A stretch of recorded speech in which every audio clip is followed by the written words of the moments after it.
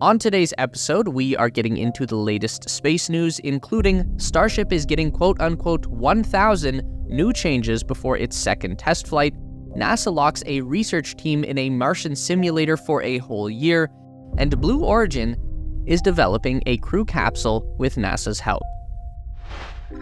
This is the space race.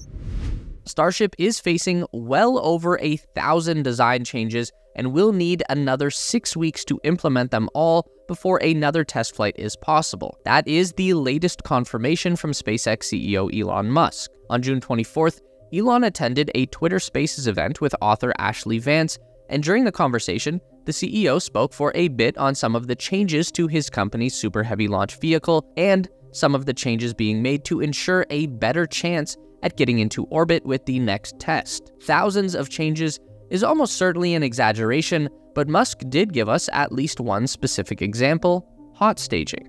Hot staging is a method of separating stages of a launch vehicle mid flight, which has been used mostly by Russian rockets for some time now. Normally, when a vehicle stages, the engines stop for a few moments to allow inertia and the separation devices to slowly and safely pull the used booster or vehicle section away from the upper ones before igniting the upper stage engines and continuing the flight. Hot staging instead keeps those lower stage engines on, but begins to taper the thrust down and then lighting the upper stage engines while the two stages are still attached. This allows the vehicle to maintain a controlled acceleration, but it also runs risks, like incinerating your lower stage booster with the force of the upper stage engines. To combat this, rockets like the Soviet N1 had large vents at the separation joint between stages, as well as extra shielding just under the upper stage engines to protect the booster. And Elon says that's exactly how Starship is being upgraded. A small extension to the first stage Super Heavy booster will be added that's basically just a reinforced vent. This will let the upper stage's jet plume be safely redirected outwards and allow for hot staging. Musk believes that this will be the most risky part of the next launch's test which is fair. If the shielding isn't enough, the first stage booster will be blown apart, likely taking the payload with it, and if any of the upper stage engines fail to light, the whole vehicle could be blown off course. It is, however, a good upgrade to the overall design. If SpaceX can perfect the system, it will give Starship a smooth acceleration curve while escaping the Earth's atmosphere, which is usually the hardest part of a launch. And losing engines makes that attempt even harder. During Starship's first test flight on April 20th, several engines weren't engaged. They either failed to light or were taken offline by the SpaceX ground team in response to dangerous readings. Many observers believe that the plume of crushed concrete from the destroyed launch pad played a part in that issue, but Elon pointed out a bigger problem during his chat on Twitter Spaces. Apparently, the manifold that directs superheated methane into the combustion chambers of the ship's engines had sprung several leaks during the test. The Super Heavy booster had never been tested at anything more than 50% power before, and as it turned out, superheated gas at high pressure was more than certain parts of the manifolds could handle. The problem happened around the areas where the manifolds had to be bolted to the ship itself a common spot for fluid systems to leak. The solution, Elon says, was to redesign the manifolds themselves and use a higher torque rating to secure the bolts. Musk also brought up the new deluge system, a high pressure showerhead-like device that will shoot water upwards from a large steel plate mounted under the orbital launch mount. SpaceX watchers have been discussing this system for a couple of weeks now, so we are mostly familiar with how it's supposed to work. Time will tell, though, if it actually stops the next Starship launch from blowing a sizable hole in the Boca Chica sand. But while those are big changes involving many smaller adjustments, it's hardly thousands. However, Elon is likely talking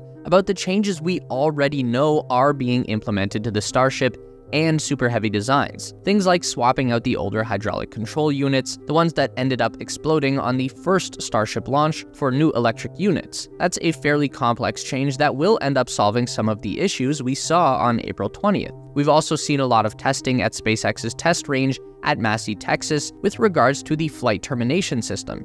At least, that's what it looks like. The FTS not operating like it should have back in April was probably the most concerning hardware failure of the day, and if SpaceX hopes to secure another launch license from the FAA, they will need to address that. And finally, we have also been seeing interesting hardware variations from newer models of Starship coming out of the Star Factory.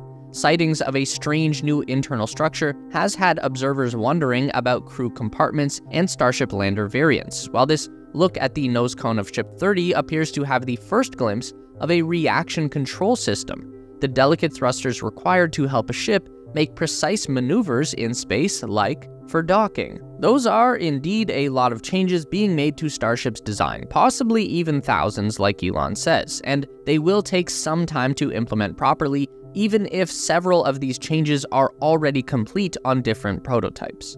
But Musk's timeline hasn't changed from the one he provided on Twitter last week in response to some questions, but whether or not Starship gets a second crack at reaching orbit in six weeks isn't up to him, it's up to the FAA, who is currently dealing with a lawsuit and finishing up their investigation of the first Starship launch. An investigation which is guaranteed to present a list of changes the FAA will want to see before allowing SpaceX to proceed with a second test. Like we said though last week, NASA and the US government have too much riding on the success of Starship, and we've all seen how long they'll keep a project going once they've invested in it. Just look at Boeing Starliner or the SLS.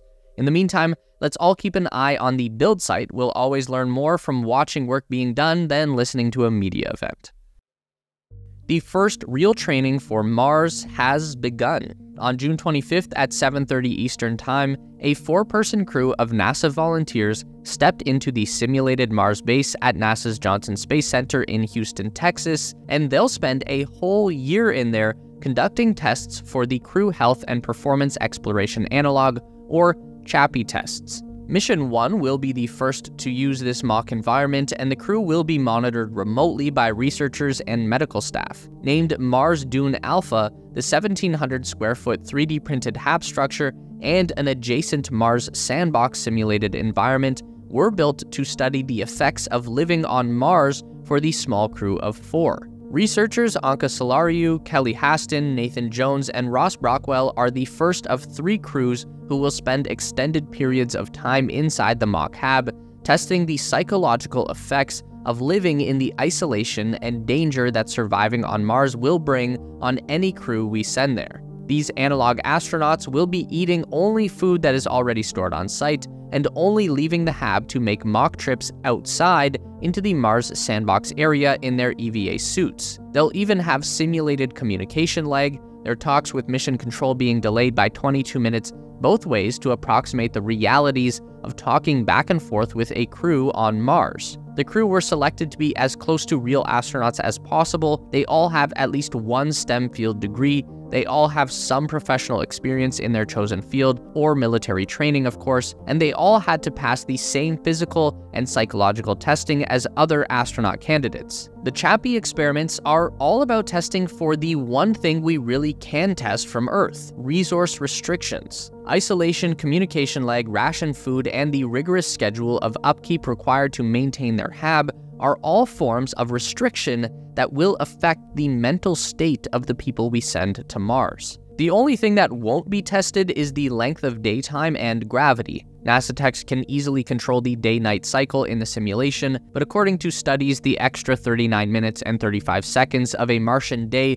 really only impact mission control back on Earth, so there's no real need to test the astronauts, who will pretty easily adapt to the change. NASA can't test the 38% gravity for obvious reasons. The first test of Martian conditions might be simulated, but we shouldn't forget that these crews are still taking a risk here. Psychological damage from living in isolation is a very real threat, and it's important that we understand what could happen to the people we send to Mars when the time comes. Best of luck, Mission 1.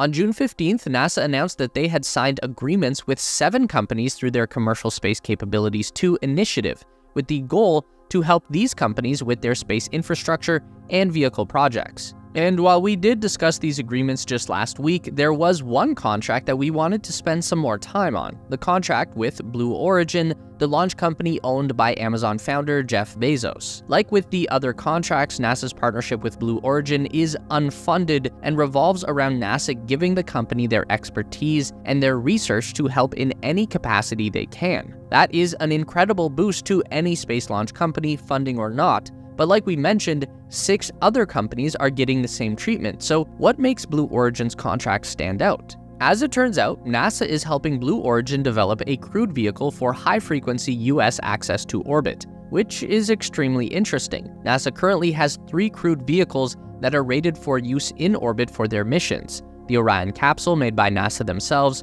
Crew Dragon made by SpaceX, and Soyuz made by the Russian space agency Roscosmos. But they have invested in other vehicles such as the Dream Chaser spaceplane made by Sierra Space and the Starliner crew capsule made by Boeing. The problem is that the Orion isn't really meant for rapid use, being as it is an exploration craft made for the Artemis missions, and with the Soyuz being a design from the late 1960s and Russia's increasing unreliability, NASA really only has Dragon to work with for things like crew transfers to the ISS. Dream Chaser could change that, but they're still months away from a potential flight test, and Boeing has been struggling to get their Starliner capsule working for so long that NASA is likely starting to look elsewhere, and that's where Blue Origin comes in. Technically, the company has two crew-rated vehicles, the New Shepard and the Blue Moon, which is their prototype lunar lander that's just been contracted to carry the Artemis 5 astronauts to the moon's surface. New Shepard is probably closer to what NASA is looking for with this partnership though. As part of a suborbital launch system, the New Shepard nonetheless flew 22 successful missions before failing back in September 2022, and the launch escape system managed to get the capsule to safety in that instance regardless. That is a pretty good track record, even if NASA needs something hardier than a suborbital tourist capsule. And it's likely Blue Origin has been working on something that is fit for orbital work, their heavy lift rocket, the New Glenn, is just about ready for its own test launch and was designed to ferry payloads and vehicles like the Blue Moon lander into space. It's a pretty good bet that Blue Origin could get an orbit-capable crewed capsule ready, especially if NASA lends a hand. Now, there's no guarantee that this partnership comes to anything, but Blue Origin definitely has the resources to compete with SpaceX in this arena. Most importantly, their plans already include partnerships with Sierra Space and Boeing. They are a good company to use this sort of unfunded contract with, and if Boeing ever gets around to getting Starliner working properly, NASA would have access to three crew-ready, fast deployment capsules and a spaceplane to boot, which is not a bad stable to keep. Meet us back here every week for more updates on everything aerospace industry and interstellar exploration related. Make sure to give the video a thumbs up today if you liked it, that really helps us out for real.